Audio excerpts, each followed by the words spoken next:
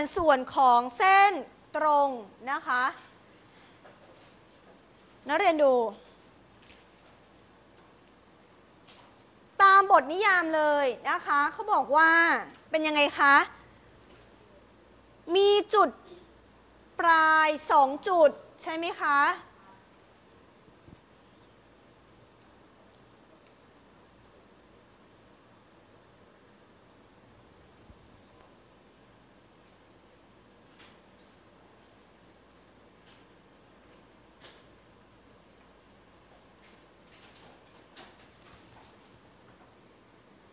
อะเรามาดูนะคะ ส่วนของเส้นตรง A B นะคะ เขียนแทนด้วย นักเรียนสังเกตนะ ตอนนี้สัญลักษณ์ที่นักเรียนได้เรียนนะคะ เส้นตรง และตอนนี้ก็คือส่วนของเส้นตรงนะคะ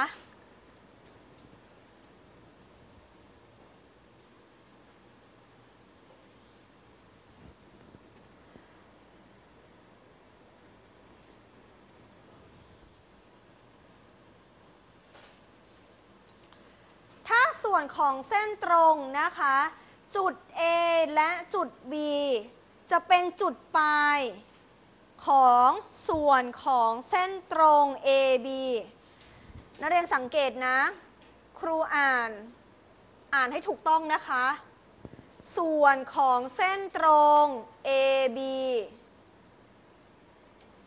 ถ้าครูเติมลูกศรให้ทั้งสองข้างล่ะคะ อ่านว่าอะไรคะ ถ้าเติมลูกศรเลยอะเติมลูกศรแบบนี้เลย อ่าอ่านให้ถูกนะคะ ถ้าเห็นแล้วก็อ่านเลยนะคะ เส้นตรง AB ส่วนของเส้นตรง AB นะคะ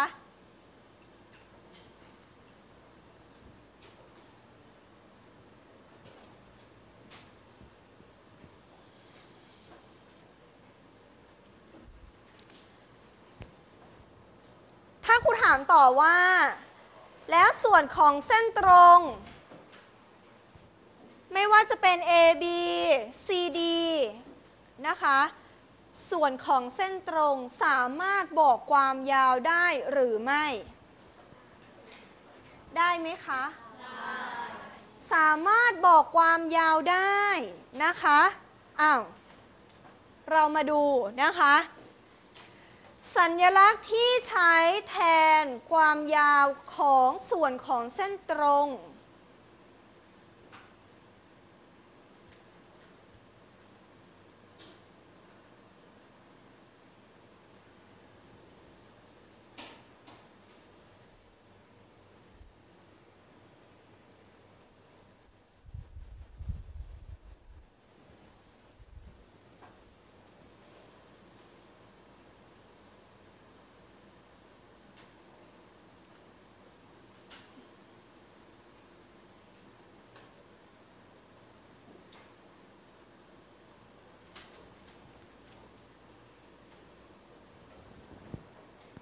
ความยาวของส่วนของเส้นตรง AB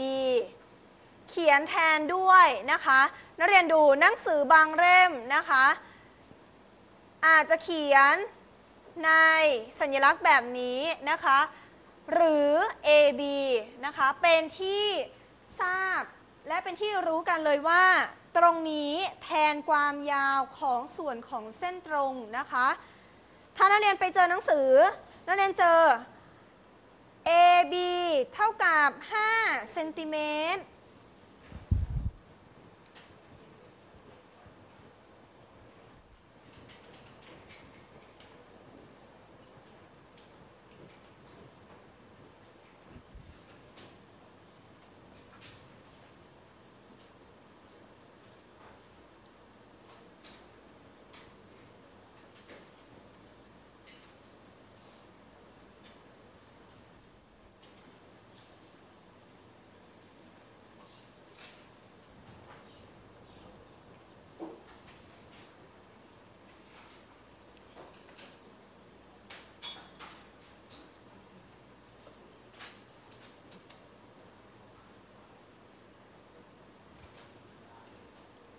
อะต่อนะคะ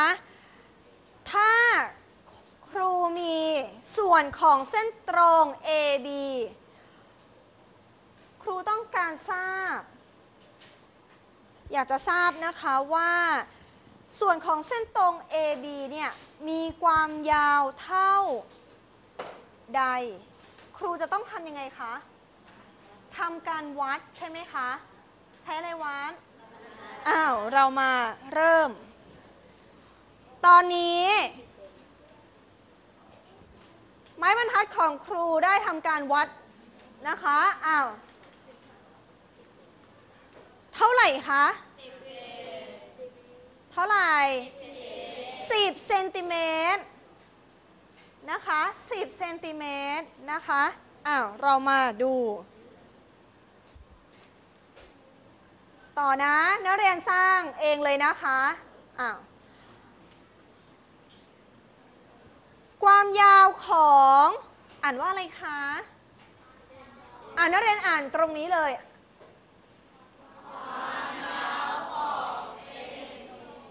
เอาใหม่ ใช่ค่ะ ผู้ชายอ่านถูก ผู้หญิงอ่านใหม่ค่ะ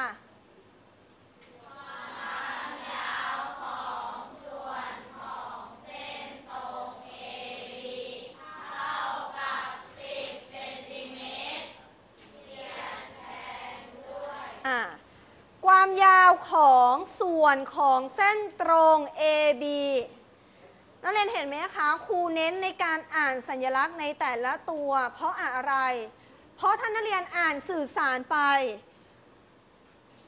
ถ้านักเรียนสื่อสารในทางที่ผิด เขาเขียนผิด นักเรียนต่อว่าเป็นยังไงคะ เป็นการต่อว่าเป็นการสื่อสารที่ไม่ถูกต้องถูกไหม ใช่ไหมคะ ฉะนั้นเราจะต้องสื่อสารให้ถูกต้องนะคะอ้าวเรามาดูนะคะ แน่นอน เราเขียนสัญลักษณ์ก็คือ m m ตรงนี้ก็คือความยาว ความยาวของของอะไรคะ ส่วนของเส้นตรง AB เท่ากับ 10 เซนติเมตรนะคะ หรือบางตำรานะคะ อาจจะเขียน AB เท่ากับ 10 เซนติเมตร เลยก็ได้นะคะ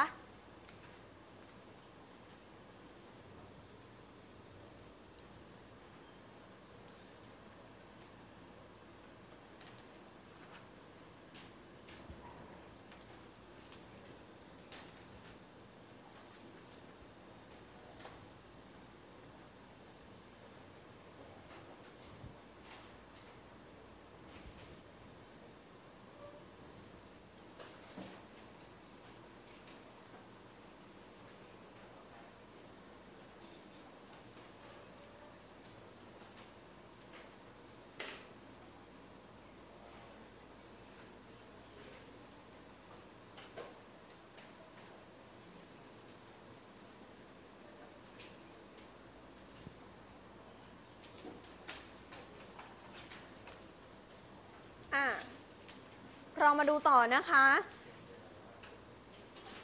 ต่อไปนะเนี่ยไม่ต้องบันทึกนะ ดูนะคะคุณต้องการให้นักเรียนฝึกคิดนะคะอ้าวนักเรียนดู ตรงนี้อ่านสิคะ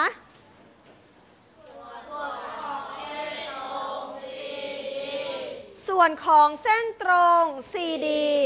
ครูต้องการอยากจะทราบความยาวนะคะ หลังจากนั้น รูทำการวัด อ่าครูวัดเรียบร้อยแล้ว ได้อะไรคะแสดงว่าถ้าบอกอย่างเต็มๆเลยอยู่ดี 3.5 อะไร 3.5ล่ะคะอะแน่นอนมีหน่วยขึ้นมาแล้ว 3.5 นิ้ว อยู่ๆนักเรียนบอกครูว่า 3.5 นิ้ว และอะไรล่ะคะ 3.5 นิ้ว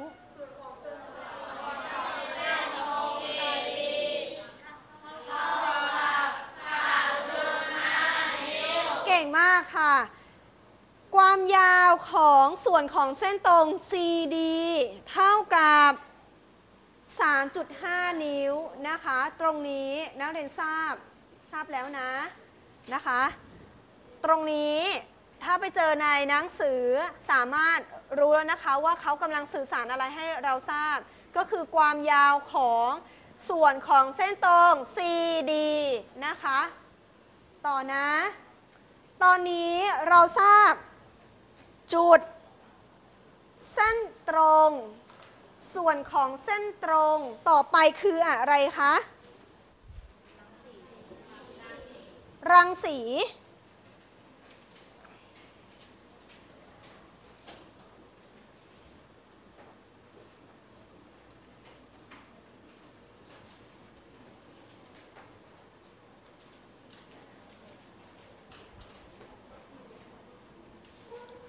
เรามาดูนะคะ